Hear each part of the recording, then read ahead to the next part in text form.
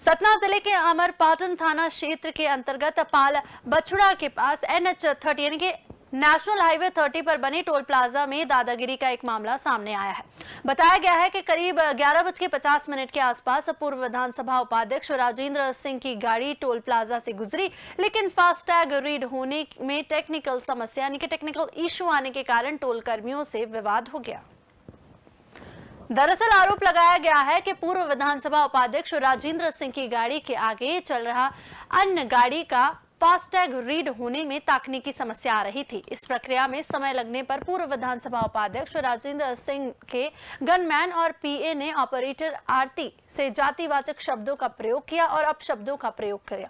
आपको बता दें, साथ ही अन्य ऑपरेटर को गेट खोलने की धमकी भी दी गई और गेट न खोलने पर पूर्व उपाध्यक्ष के साथियों ने मारपीट कर दी। वहीं यह पूरा घटनाक्रम सीसीटीवी फुटेज में कैद हो गया है, जो की आप टीवी स्क्रीन पर देख रहे हैं। इतना ही नहीं, घटनाक्रम के बाद राजेंद्र सिंह टोल प्लाजा स्थल पर धरने पर बैठ गए जिसे काफ़ी समय तक चक्का जाम लगा रहा। आपको बता दें, यात्री परेशान होते रहे।